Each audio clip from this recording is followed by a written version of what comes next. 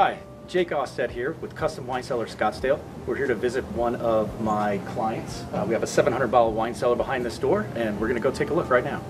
This is a cellar. Is a repeat client. This is the second cellar we've done for him. You can imagine this. It was an old kind of a wet bar area. We took it and changed in the, the archway and the front door, and you really changed into a feature of the house. So um, you could see bottles on both this side and the other side.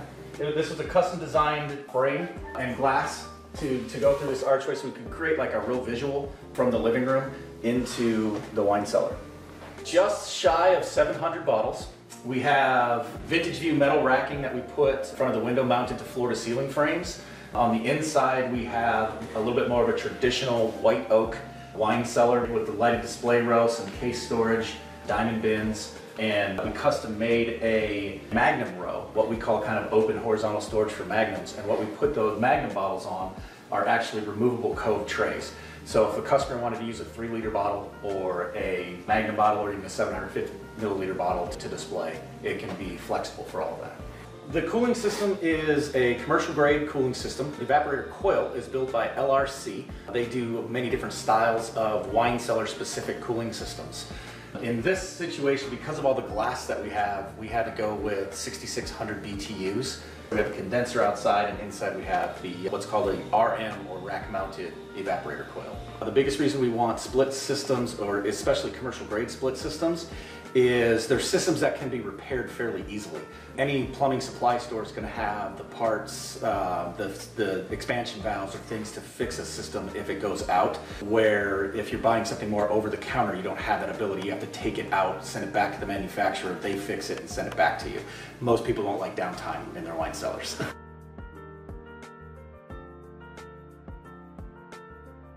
So you want to be specific on a wine cellar door. So you imagine we're standing inside right now a very large refrigerator. A lot of times you'll see a single pane glass, you know, kind of shower door look, something that's not sealed. It's not something we recommend, especially in a humid environment. If you're anywhere near the coast, it's something that really should not be done. You risk having condensation issues, you risk freezing your cooling system, you risk having condensation on the glass. So here what we recommend is we do a dual pane thermal insulated glass. It's all weather stripped and sealed. So this is a complete airtight environment. We have a steel framing around this. So this is kind of a classic steel door look. So now there's no air passing from the home into the wine cellar and we don't have a heat exchange. This is a client's taste. This could have been a completely single glass pane. This could have been a handle, a, you know, a larger handle from top to bottom. It really comes down to a client's choice. It's kind of a design issue at that point.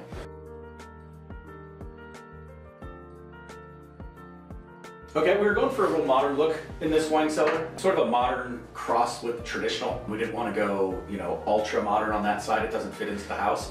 So our wood racking, what we did is we have white oak, unfinished. We have traditional white oak tabletops, but we put a clear coat finish on all tabletops in case you happen to open a bottle of wine and spill a little. Cleans up a little easier than unfinished wood. Typical display row with LED, LED lighting. This is our open horizontal storage for large format bottles. So here we have magnums all displayed. Again, same thing, we have LED lighting, but the fun feature that we do is we create these cove trays that are removable, right? So you have a smaller cove tray in the front uh, and a taller cove tray in the back, so that way you get more display area. These are the cove trays that we build. Again, one's for front, one's for back, so you can see that one's more elevated so you get more visual display on your magnum bottles. And that way everything's not at the same level. It gives a nice stair step up here appearance. One thing that we like to do that's different than, than somebody else is we actually build our case storages up on little runners so you can see the, bo the boxes slide very nicely on these little runners and you don't scratch up your racks that way. These are basically your traditional nine bottle diamond bins.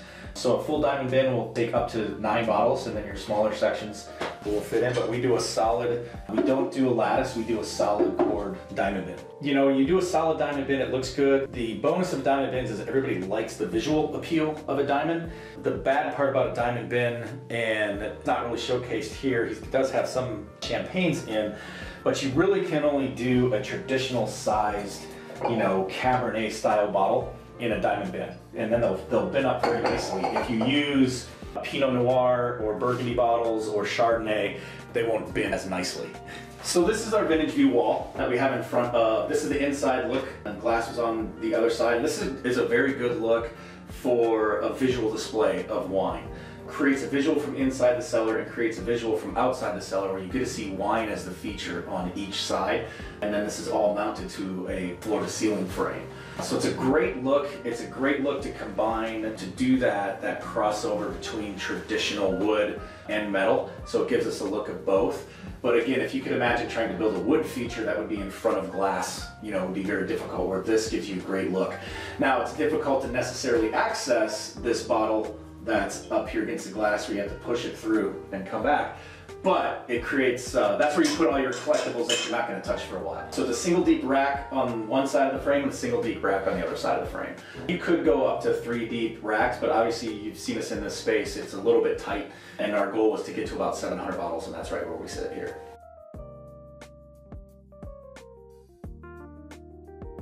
This is a great cellar. I did a very, very traditional cellar for this client about five or six years ago. I believe it was right around 2015. Very traditional, redwood. It was off a bar area. It was kind of in a closet, kind of hidden. It wasn't very visual. Where in this case we had, you know, we tore out, this was actually just an open pass through. There was nothing here, it was just an archway, but we had just kind of a bar area in the back of the cellar.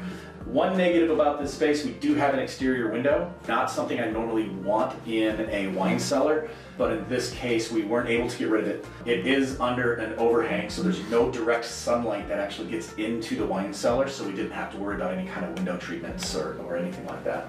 There's ways to work with it. I mean, you could have put just a blackout shade on here. You could have actually closed it in, stuccoed the outside, done a complete get rid of for the window. You could also black out the window and just vapor and insulate it and frame it from the inside. So on the outside it's still a window, uh, you just don't see anything through it. That's another way you can you can take care of window problem. But again, we didn't worry about that in this situation because there's no actual direct UV sunlight coming into this window. We figured in the heat load calculation again, so you know all those things are figured into how we size the cooling system.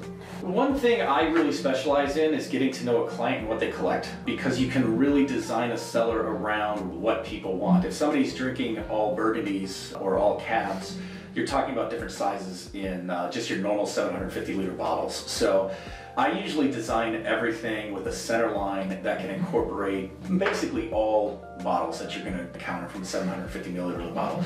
Now, people that are very into wine, they're going to be familiar with Turleys and probably have some Turleys, but you can see just by a Turley bottle versus let's grab a traditional Cabernet bottle, you're going to see the difference in the girth of what we would call the butt or the pump of the bottle. And you know that can be difficult when it, it, when you start talking about how it's going to be designed into a wine cellar. You need to make sure you have the proper center line to be able to fit those kind of bottles. Every single cellar is going to be designed specific for the size the space that you're going to have. So this center line may be 4.51 inches, or it may be 4.59 or 4.49.